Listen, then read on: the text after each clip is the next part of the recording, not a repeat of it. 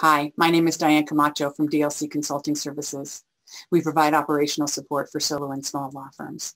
And I wanted to take just a moment today to give you a little bit of a warning in connection with cyber attacks.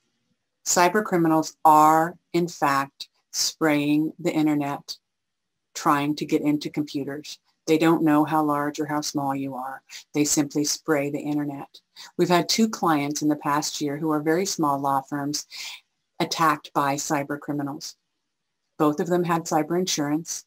Please, if you have cyber insurance, contact your cyber insurance carrier immediately upon learning that you have been hacked or might be hacked.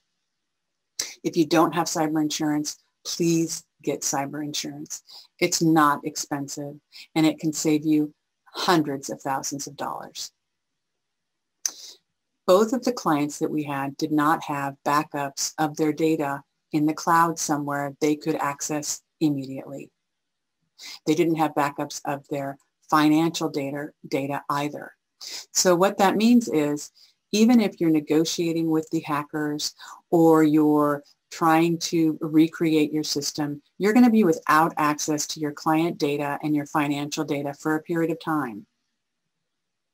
In our instance, they were out without information for a week, a week and a half. If they had backups in the cloud that they could simply log into and utilize, they would not have been down and would not have lost time.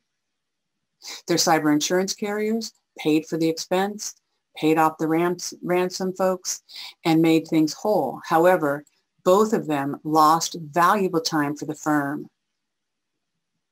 I really recommend that you look at cloud-based backup software that you can access through the internet. Talk to your IT provider or talk to us and make sure that you are totally secure and have information where you need it, when you need it, no matter who holds you captive. Thank you. Have a good day.